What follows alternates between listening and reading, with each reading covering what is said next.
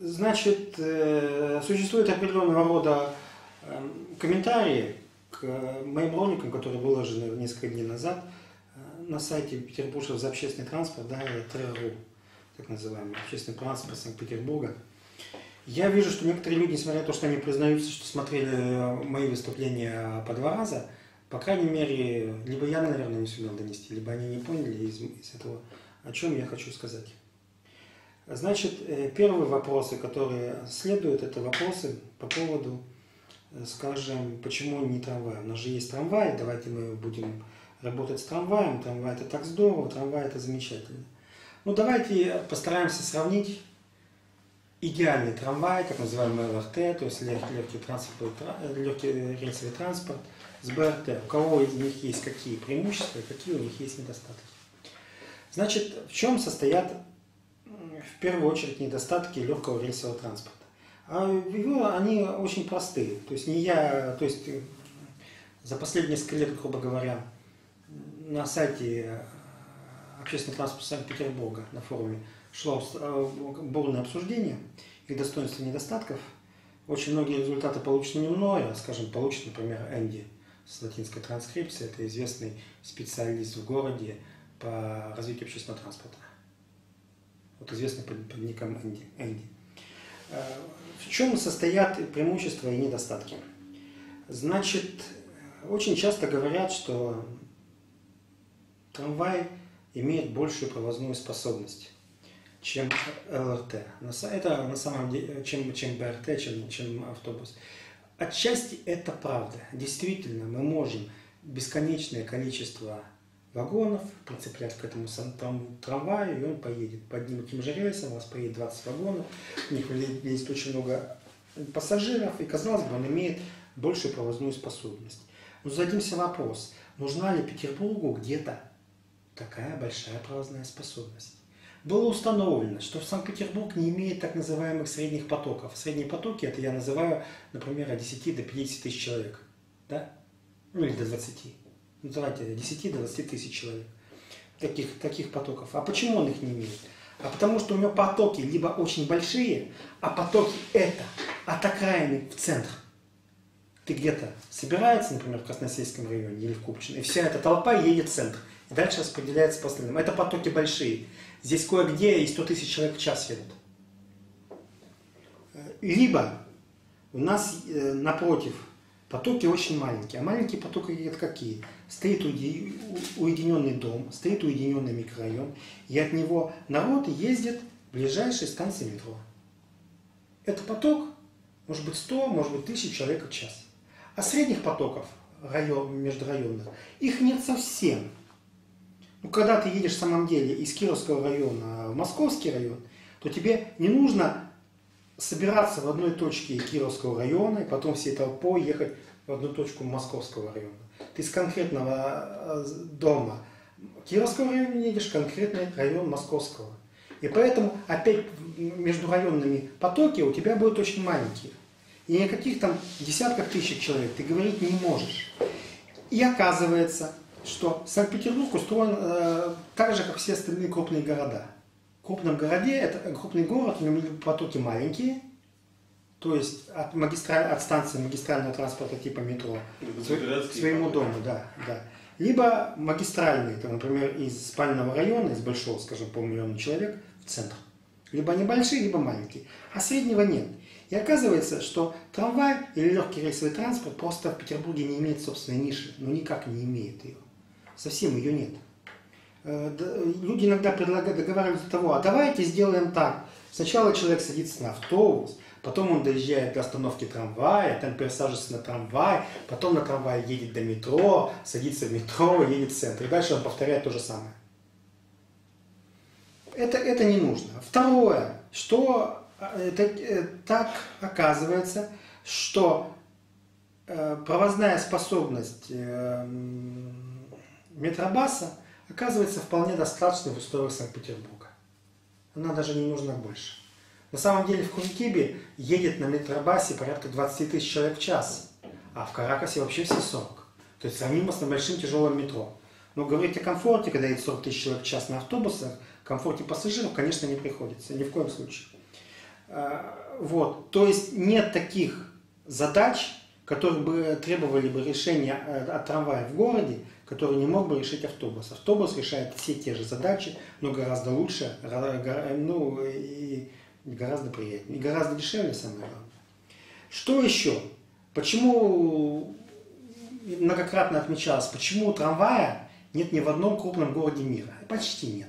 Я не говорю о 40 километрах э, легкого рельсового транспорта в Париже. Это ничто по сравнению с их метро и с их СРРом. Ну, практически ничто. Это символические количества. Я не говорю о, о ветке трамвайной в Токио. Это тоже символическая ветка. На 100 тысяч человек в год перевозит, практически никого. То есть это все одни символы. За этим символом не скрывается. Ни в одном городе население выше 5 миллионов человек в мире нету трамвая. Ну нету.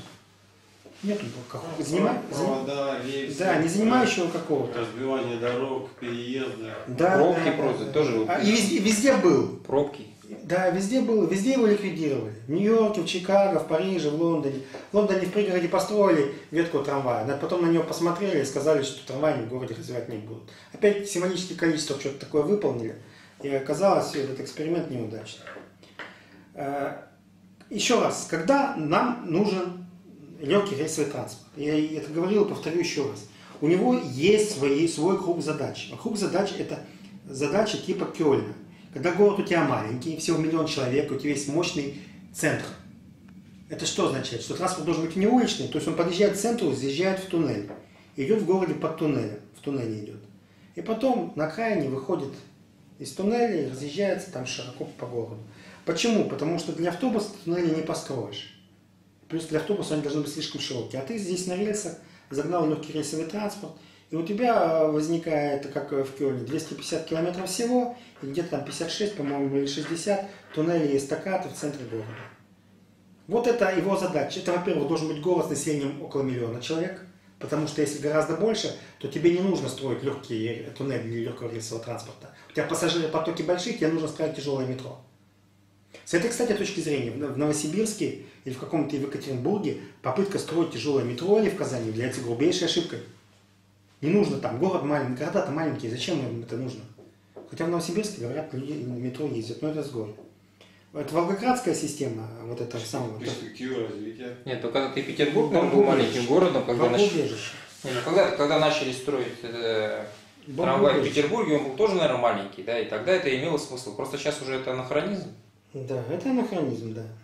И развивать. Вот у него, вот у ЛРТ, то есть легкого рейсового транспорта, у него вот такой есть узенький ограниченный круг задач. Город-миллионер, и таким образом, что в центре, центр исторический очень плотный, и ты должен строить там туннель. Вот это его задача, круг его задач.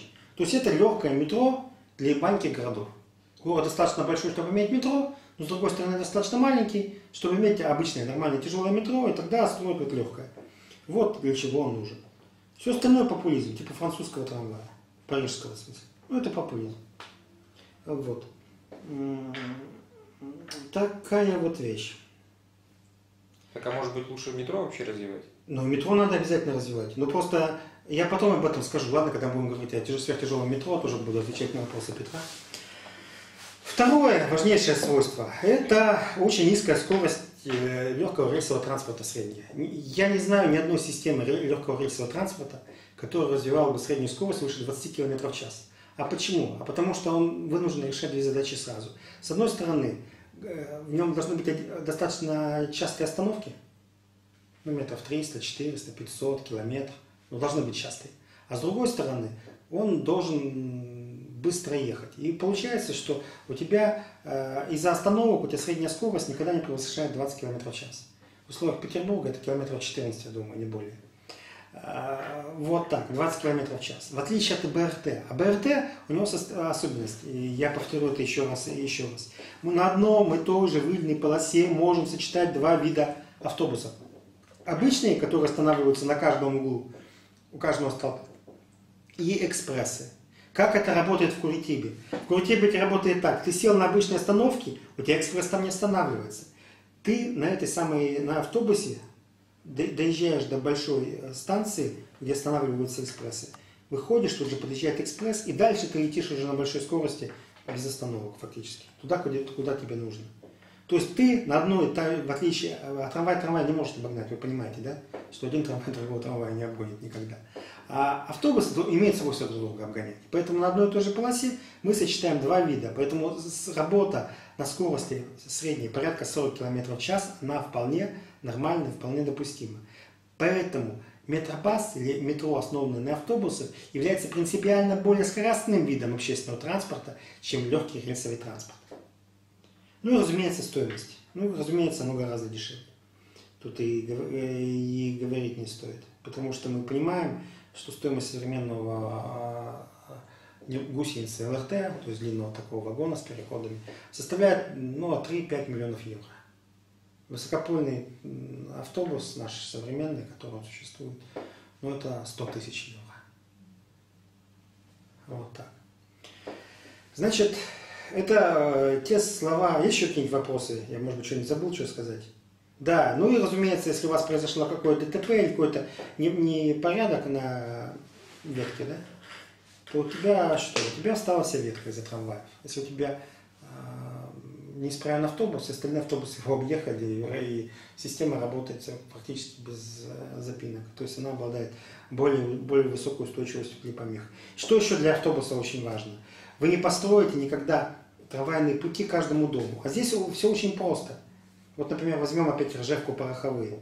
Вот представьте себе, у вас по каждой улице будет идти свой, свой торт, идти э, свой сорт автобусов, свои маршруты. И они будут на месте нынешней трамвайной линии собираться э, на эту выделенную линию э, все вместе.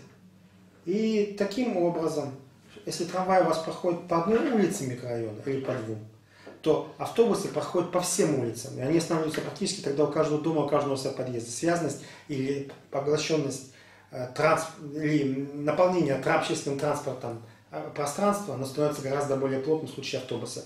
Он едет, едет между домов, по обычной улице, по обычному ас- асфальту, без, без всякой выделенной полосы, спокойно себе останавливается там, где это нужно. И только на загруженном участке он выходит на э, линию и по ней несется. А трамвай является самоокупаемым? Нет, То есть все датируется? да, всегда и везде. То есть, А- в принципе, она не может быть самоокупаемой. Да, да, это очень долго в нынешних условиях. Из-за электричества, что ли? Нет, это не из электричества связано, это связано в первую очередь тем, что все-таки там железо идет по железу, и это приводит к очень высоким требованиям по шумам. Ну, вот ты должен, чтобы этот транспорт был достаточно тихим. Ну, это делает специальное колесо, там металлическая оболочка, потом резина, потом в нем опять металл, специальные колеса, специальные тележки, специальные пути. И это приходит к резкому удо- удорожанию всей этой конструкции. Если бы можно было бы просто бы пустить, как у нас в городе происходит, просто гремящие телеги страшные, к сожалению, в современных условиях это невозможно, считается негуманным. Есть некоторые нормы по шуму. И поэтому этот вид общественного транспорта э, всегда и везде оказывается датируемым. В отличие, например, от, системы общественного транспорта Куритибы, которая прибыльна, на автобусах основана. Вообще прибыльна. Не то, что операционная, как метро, когда инфраструктура строится за счет государства, а операционную прибыль, то есть прибыль от эксплуатации, получает э, метро, метрополитен Санкт-Петербурга. А, а чем будут заниматься заводы, которые там вагоны делают? Ну, в смысле, для трамваев там. А ты их не осталось уже фактически. Ну как вот, вагон, это завод-то вот этот огромный. Петербургский трамвайный механический завод, в смысле? Ну там их много таких заводов. Ну, их три на самом деле. Как-то Будут вот- делать автобус. Нет, а он ничего не будет делать, он банкрот. Он никому не нужен, и слава богу. Он полный банкрот. Ну, построим дома на этом месте. Ну, вот на улице Чугунная находится вроде. Не, не знаю, что там построят.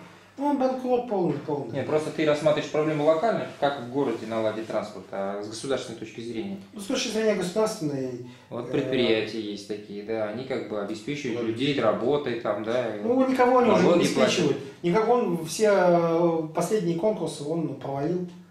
Никому трамваев никаких отгрузить не смог, деньги получили.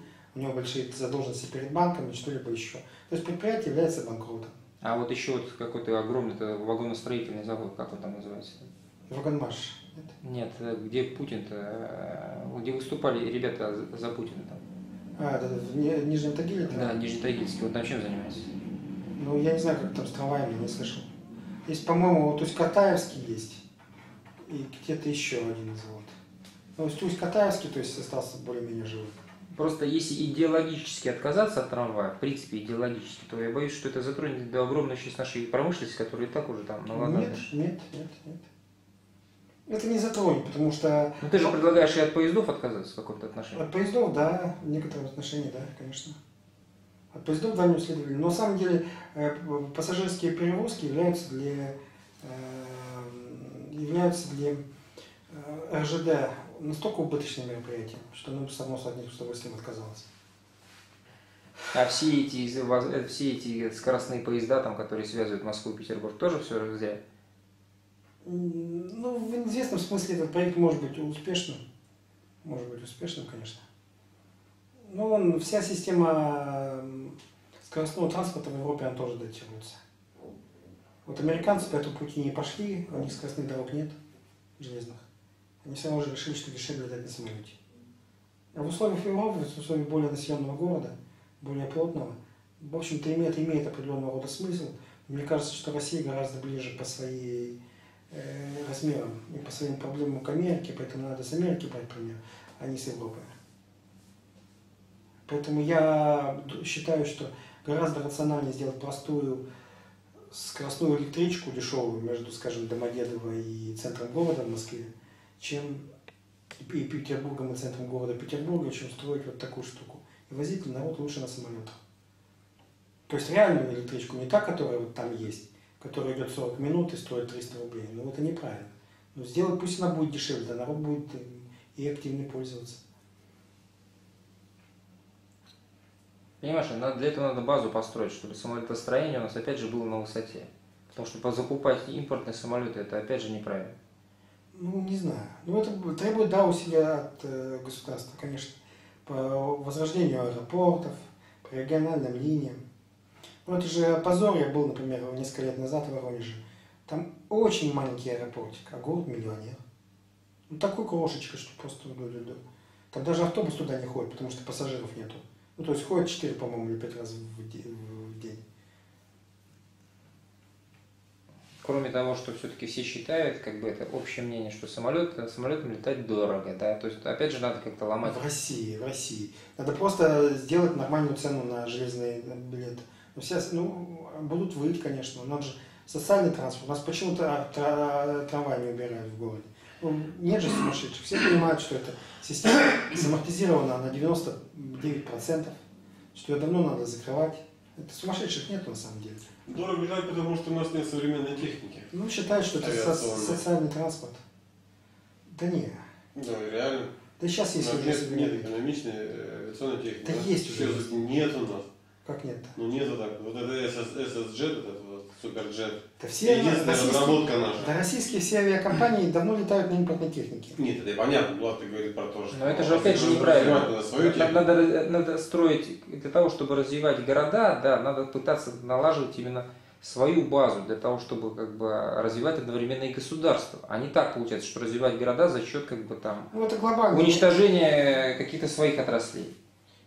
Глобально. Если мы полностью переориентируемся на, э, ну, там, на Боинг или там, как другие самолеты и Абаз, да, там, мы на самом деле просто разорим в итоге свои э, авиастроительные там, заводы. там. Но они и так уже Э, не ну, живут. понятно. ну, Это другой вопрос. это не другой вопрос, но как бы надо же мыслить Это глобально. комплексе. Это другой вопрос. комплексный вопрос. Почему у нас нет конкурентоспособных самолетов?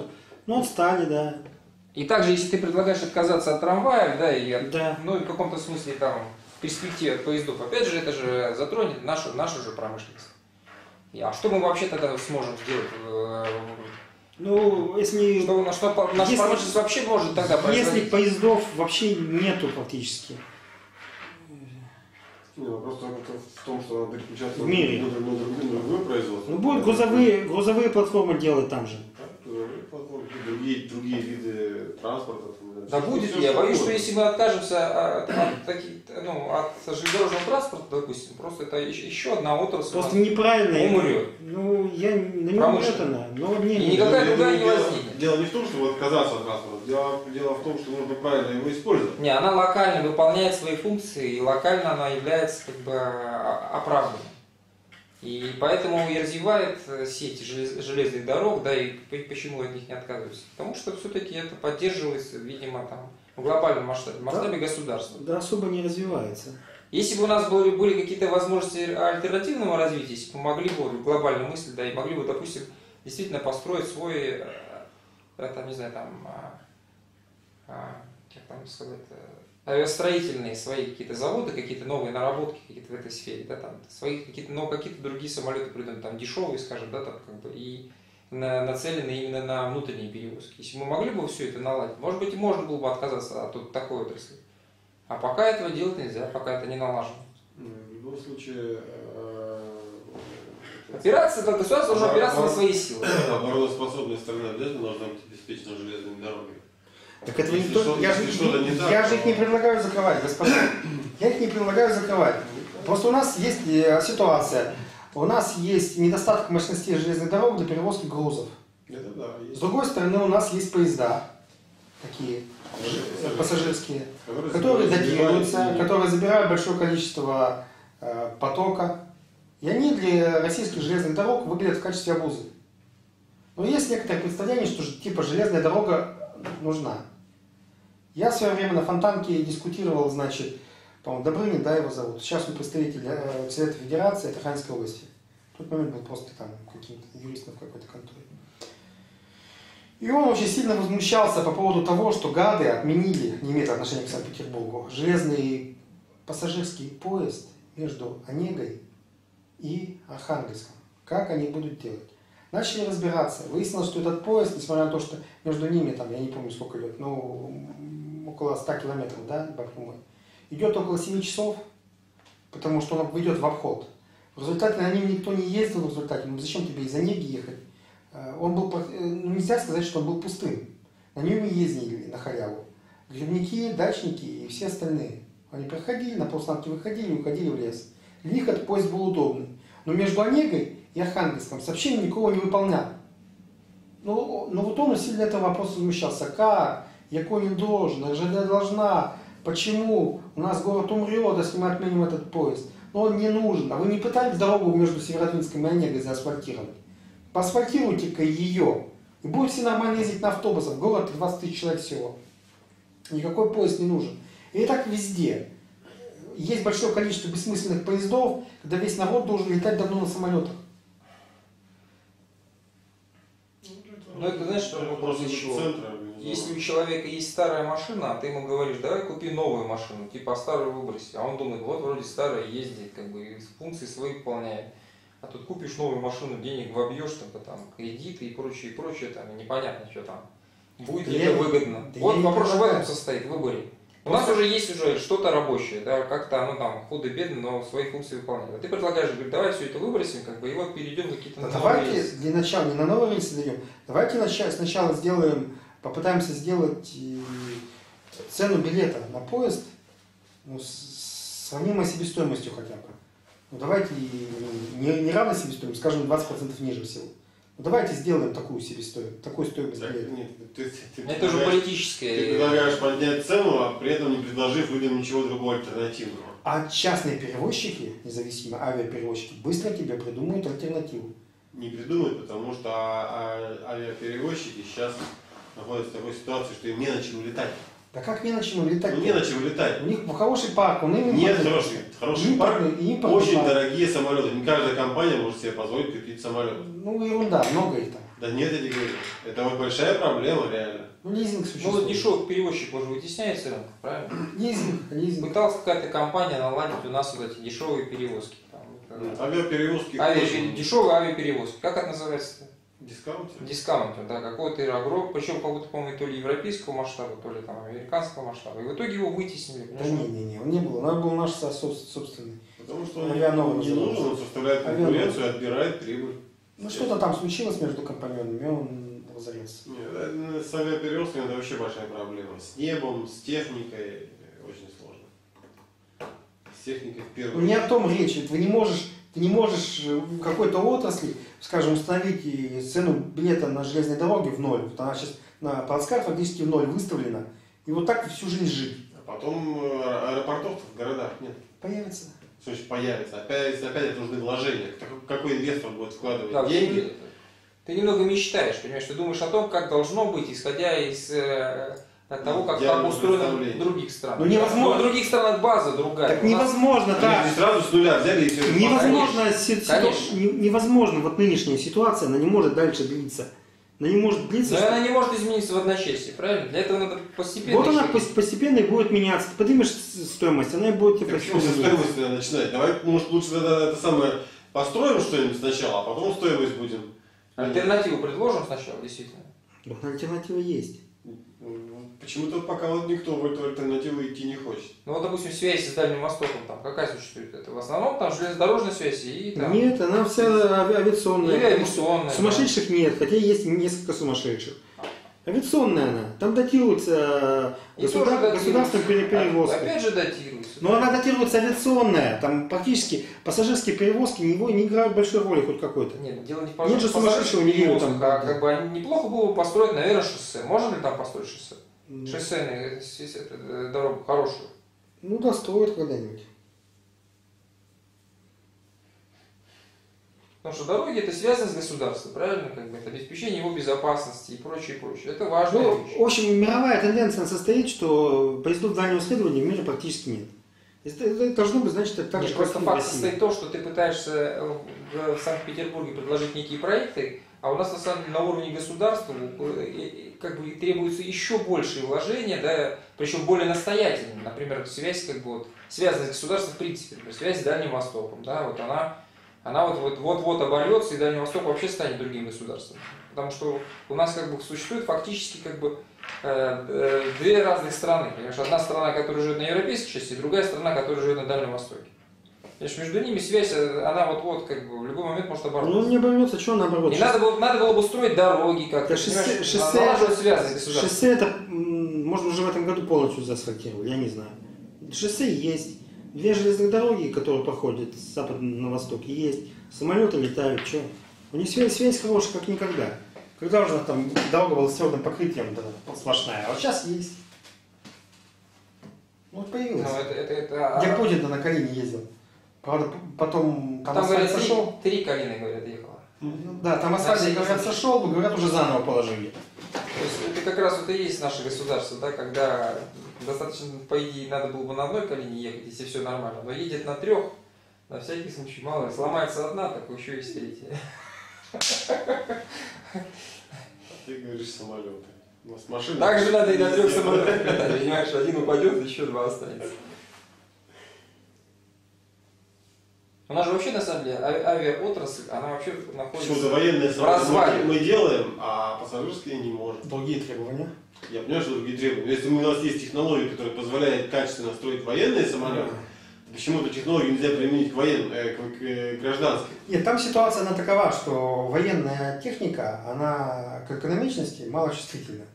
Нет, я понимаю, что такая чувствительная, но технологии при производстве Нет, самолетов, поэтому материалы, из То которых изготавливаются, Мгм. точности и так далее. Это же все имеет она к отношение. А вот, например, гражданский самолет, он к экономичности очень чувствителен. Экономичность это двигатели. Да. Это, это, а, это, это Если- одна из составляющих самолет- самолет- самолетостроения. Если ты э, сделал хороший военный самолет, это не означает, что у тебя есть э, линейка экономичных двигателей, что умеешь Я тебе объясняю, что у нас э, есть э, очень высококачественное э, строительство боевых самолетов. Там же кроме двигателей еще много чего нужно.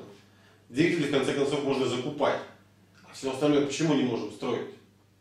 Но не можем. Я знаю по сухому суперджету, он оказался на сколько там, на 10% тяжелее примерно, чем планировалось. Ну вот. В результате он не стал совершенно экономичным нисколько. вот. То есть проект оказался неудачным. Проблема почему-то вот есть. Почему-то вот э, на, Что-то у меня такие цифры, что обещали 42 тонны в голове на крутится. Западе почему-то А, могут строить получилось 40, экономичные 46. самолеты, а мы почему-то не Ну, можем. мы можем тоже научиться, научимся, может быть. Научимся, да. Надо, надо- надо развивать, поддерживать. Вот, пожалуйста, это самая инновационная, инновационная, как называется, там ты сказал, инновационная машинка. Инновационная машинка. Вот, пожалуйста. Ну ладно, все, да. То есть, что, поговорили. А про личный транспорт я ничего не сказал. А что про что говорить? Не нужен городе? В городе есть река там, полноводная, в принципе, как бы В можно качестве было- фрик-технологии подходит, в качестве такого нет. А почему? Ну есть же эти вот катера, которые сообщили ну, по, этому, по Финскому заливу. Ну, Раньше ездили, по крайней мере, на воздушной подушке, не знаю, сейчас ну, на подводных крыльях. Ну. На подводных крыльях ездить почему? Они выгодные, нет? Да. Пи- Петергоф, Да, но это все нормально, это так и будет дальше существовать. экскурсионные. Только экскурсионные? Нет, почему? Не только экскурсионные, на Кронштадт ездят так. Почему нет? Нормальная вещь. Новый движок поставить, поплыли.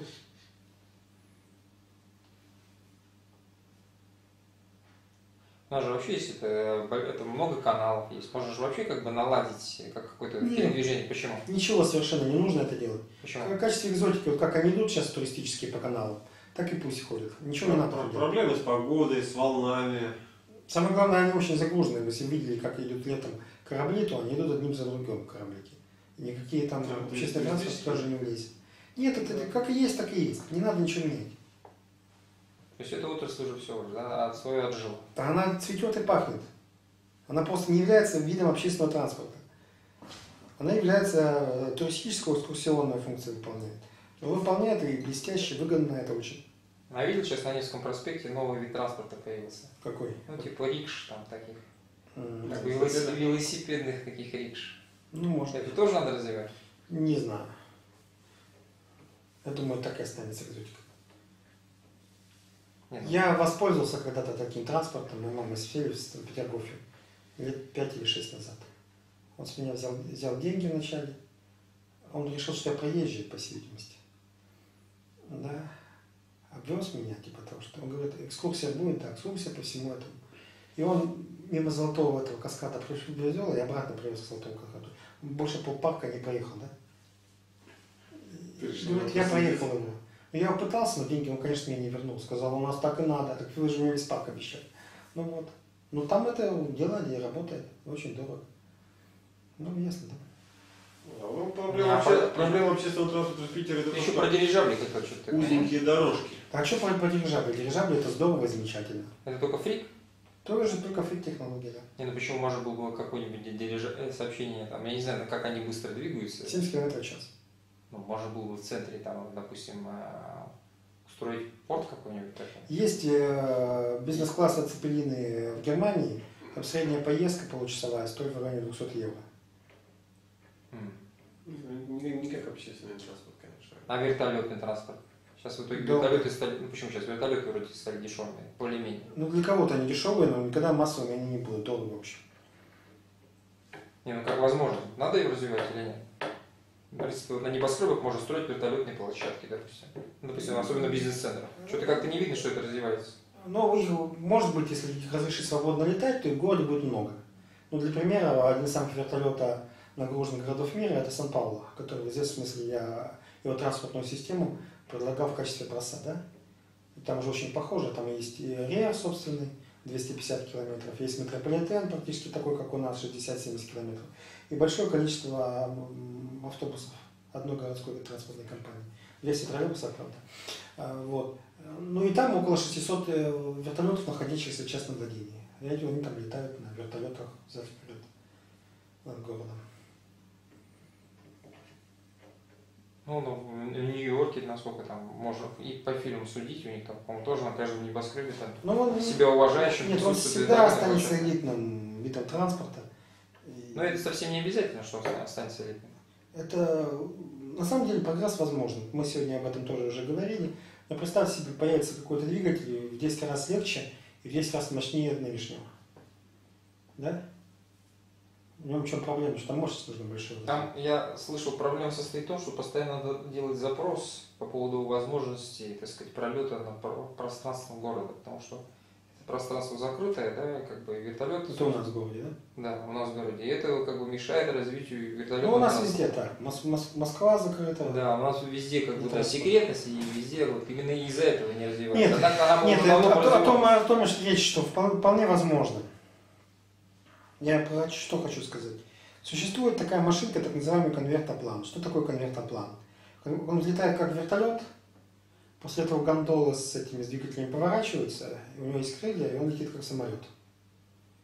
Ее развивают американцы, и они даже построили себе такой авианосец, на котором базируется, сколько там, 30, наверное, вот этих самых конвертопланов. Каждый из них там несет, по-моему, то ли по 12, то ли по 20 десантников. Э, Он работает, такой авианосец, на нем они летают. у него крейсерская скорость 450 километров. И американцы владеют технологией вот этой очень хорошо. И если бы появился движок, который гораздо быстрее, гораздо, гораздо легче, гораздо мощнее, то эта бы э, технология, она получила бы широкое распространение. Это бы означает, это бы означало бы э, закат, э, закат э, автомобильной цивилизации. Ну, полный закат, закат. Потому что ты можешь жить в доме, где хочешь, да? И на этом конвертоплане, если это дешево, своем личном, летать куда захочешь. А как, где их хранить-то? Они, Прямо на улице. Ну, они все-таки не машины, там, они требуют это. А почему? Ну, потому что мы, наверное, Есть, конечно, свои сложности. Не знаю, да. Понятное дело, что не так все просто, так сказать, фантастика. Все кажется, просто взял, залетел, полетел. Мне кажется, регулировать просто пространство воздушное сложнее, чем, допустим, э, плоскость, да, по которой машина Мгм. ездит. Там можно расчертить, условно говоря, на плоскости правила и, и, И здесь и точно им следовать. А здесь как? Надо высоты там. Да, да. да, да. Кто Если кому ты- должен если- уступать, там, да. скорости и прочее. Да, скорости не надо, тебе просто надо определить, что на определенной высоте ты летишь в определенном направлении. Чтобы у тебя на твоей высоте не появилось ни одной машины. Представь себе, там, что такое поломка, да, это означает, как бы, э, В режиме авторотации эта штука спокойно садится куда хочет. Как современный вертолет, он тоже в режиме авторотации. Он садится, может сесть на, даже с неисправным двигателем, может спокойно сесть. Ну, может быть, действительно, это требует какой-то продуманной, продуманной логистики, да, потому что там все-таки логистика это в трехмерном пространстве сложнее, чем там в двухмерном, да, там, то есть это... Но тем не менее, наверное, это может Нет, быть. он даже проще. Ну, потому что Может быть, перед тобой проще. весь мир. Весь мир, у тебя еще вертикально устроен. Но это вот, э, вот появление вот такого, такого вида транспорта, как массового, оно бы к чему привело бы? Оно привело бы к тому, что к такой же революции, которая произошла, когда лошадь убивали. Ну, то есть э, тележку с кучером. А еще вот вопрос, связанный с грузовым транспортом. Вот как с ним-то быть? Потому что сейчас он как бы заходит вот слишком глубоко в город, и на самом деле это нагружает все магистрали, как бы. там. Убирать порт, я говорю, убирать Так. А Это, убирать, но всё. не только дело с портом. Это же не только с портом связано. В принципе, ему некуда деваться, на самом деле. Ну почему? Он сейчас спокойно объезжает город по... э, А по- по те грузы, которые он внутрь города везет, куда их девать? Ну, Надо, видимо, выносить склады, видимо, Ну, они выносятся. законодательно на Они периферию выносятся, города. законодательно не надо, они выносятся реально. Уже большие склады находятся в уникат. Не, я продолжаю по конвертоплан. Вот представьте себе, мы продолжаем мечтать, да, мечтать. Ну представьте себе, вдруг вот эта технология заработает, да. И тогда неожиданно кажется, что дирижабль опять окажется востребован. А почему? Ну, если у тебя нет дорог, а ты хочешь жить в собственном доме на берегу озера, вместе со своим конвертопланом, ничего, ничего не нужно. Тогда тебе надо как-то туда завести материалы, может даже завести целый дом, его там поставить. Эти функции может выполнять только дирижабль.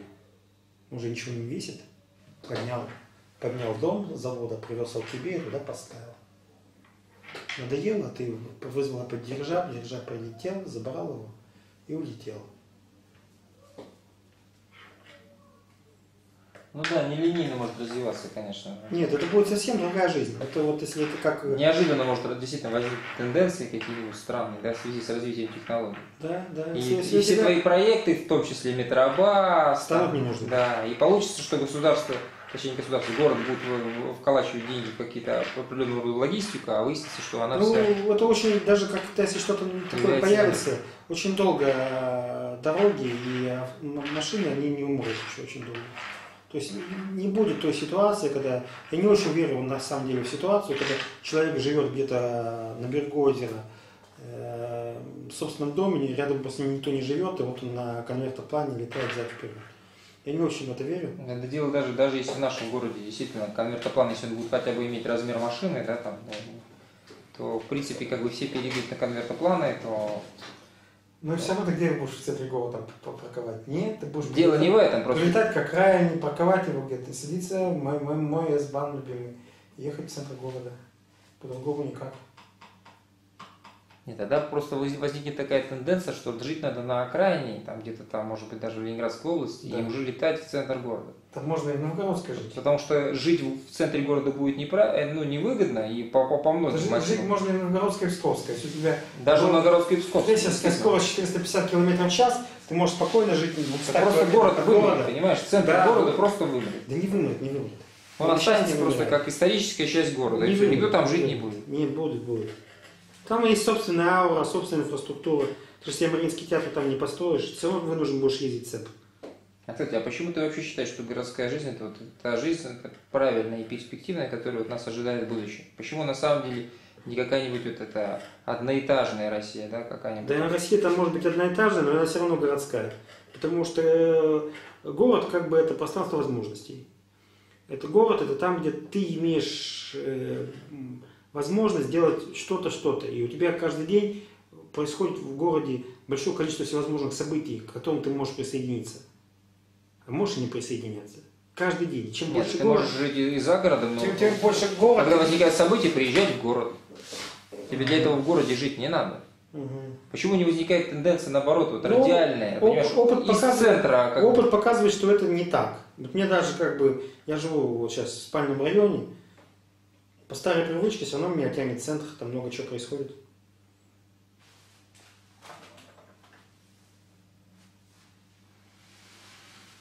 Все равно, все равно город есть город.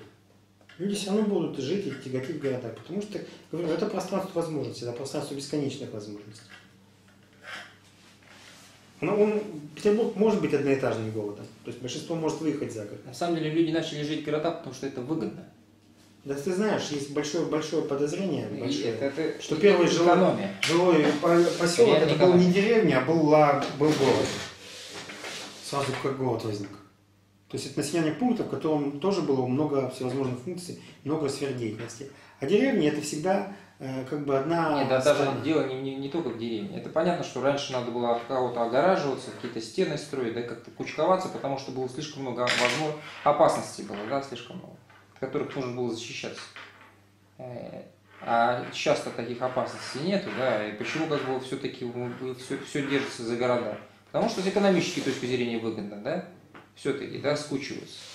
Но всегда ли эта тенденция будет сохраняться? Возможно, как бы в будущем, что наоборот будет тенденция радиальная. Да, у нас огромное государство, у нас огромные просторы, которые можно осваивать, да, жить там каких-то маленьких конгломератах, да, там, конгломерации, да, не обязательно их называть деревнями, они могут быть городами, но маленькими, там, 10 тысяч, там, 100 тысяч. Ну, на сегодняшний день Почему этого не происходит, Чем- такого оттока, вот непонятно. чем больше город, тем экономически Потому что ты же понимаешь прекрасно, что промышленность вот теперь в нынешних условиях можно развивать в любом месте. Для этого не требуются специальные какие-то вот городские условия.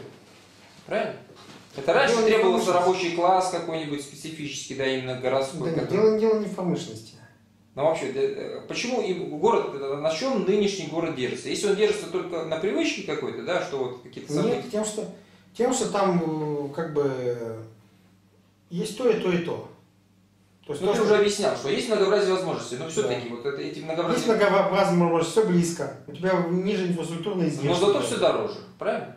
Ну, вот дороже, потому что спрос на это Дороже больше. земля, дороже это, это, это, з- здания, квартиры, там, Дороже. дороже это, Ну, да, проживание, дороже. там. Дороже, конечно. Дороже строить дороги, да? Да. Потому что каждый раз надо согласовывать много, всяких Дороже, факторов. дороже. Поэтому промышленность вы- уходит на, на периферию, а в центре остаются только рестораны. Да, так. А почему, как бы, вот, я говорю, этот отток, вот не вообразить этот отток тем способом, что люди будут тяготеть каким-то маленьким городам, ну, допустим, люди там э, будут создавать какие-то, какие-то это, м, ну, скажем так, поселки городского типа, да, тем более это позволяет современные технологии, э, Потому что, еще раз, в каждом поселке городского типа нет Мариинского театра.